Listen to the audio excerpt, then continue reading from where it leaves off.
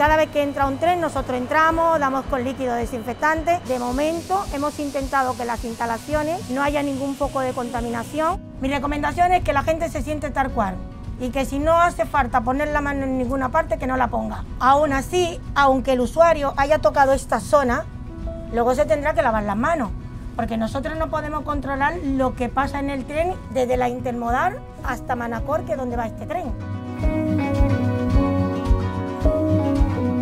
Tenemos una falsa seguridad con los guantes, porque venimos de la calle y hemos tocado todo lo que hay en la calle, luego venimos aquí dentro y como tenemos los guantes, entonces lo tocamos todo. Luego nos llevamos los guantes a la cara.